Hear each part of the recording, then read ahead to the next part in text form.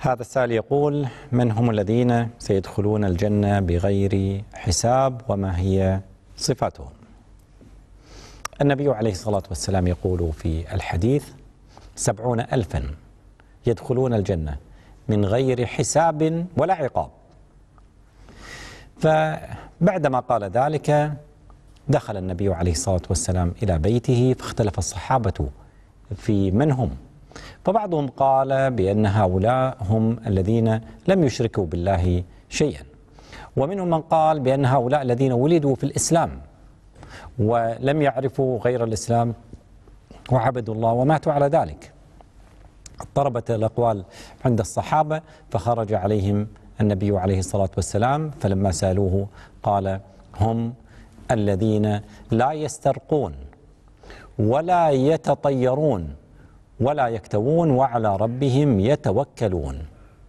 أي هؤلاء الذين هم يتوكلون على الله سبحانه وتعالى ولا يتطيرون التطير الذي كان في السابق كانوا يجعلون الطير أمامهم فإذا طار عن يمينهم فإنهم يتفاءلون وإذا كان عن عن شمالهم فإنهم يتشاءمون فكانوا يتطيرون.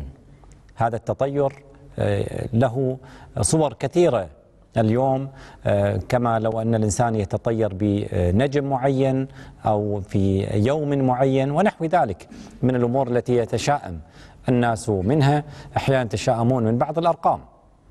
فإنه إذا أتى له رقم معين فإنه يتشائم منها كما هو الحال بالنسبة لبعض الأمم.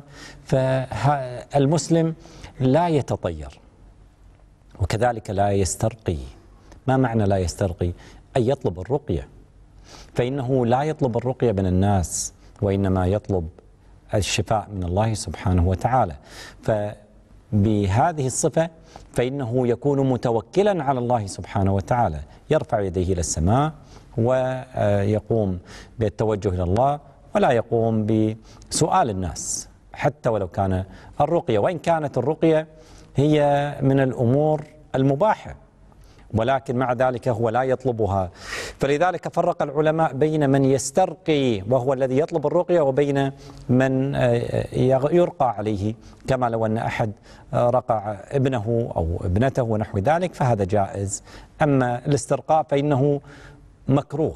لا نقول بأنه حرام وإنما هو مكروه. تمام التوكل على الله سبحانه وتعالى أنه لا يسترقي. كذلك ولا يكتوون. الكي آخر الدواء. وهنا نقف وقفة يسيرة.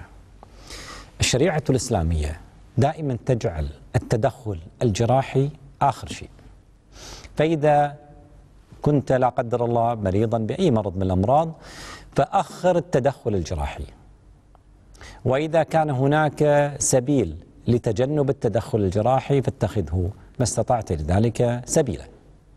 وذلك لأن النبي عليه الصلاة والسلام أخبر بأن الإنسان قدر المستطاع يؤخر الكي والكي نوع من أنواع التدخل الجراحي آه الذي يكون على قطع بعض العروق أو, أو نحو ذلك فإنه يكون تدخلا جراحيا دائما يؤخرها. وردت قصص عن النبي عليه الصلاة والسلام في هذا الأمر فكانوا منذ القدم يعرفون الطب بل إن الأطباء في زمن عيسى عليه السلام قد وصلوا إلى أعلى ما يمكن أن يصل إليه علم الطب.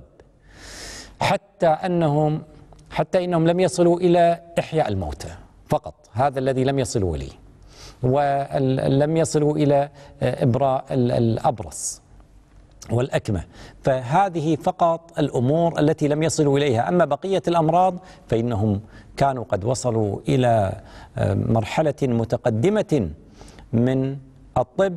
فلذلك كانت معجز معجزته في أنه يحيي الموتى بإذن الله وكذلك يبرئ الأكمة والأبرص وذلك كله بإذن الله.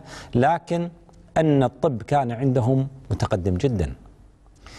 إذا النبي عليه الصلاة والسلام كان في زمن قريب من من ذلك الزمن الذي فيه التقدم الطبي ومع ذلك فالإنسان قدر المستطاع يؤخر هذا التدخل الجراحي ما استطاع إلى ذلك سبيلا.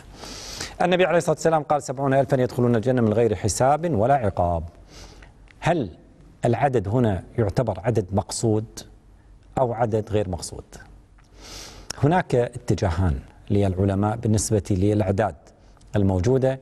فبعض الأعداد يقولون بأن هي من عادة العرب أنهم يذكرون أعدادا غير مقصودة. ما معنى ذلك؟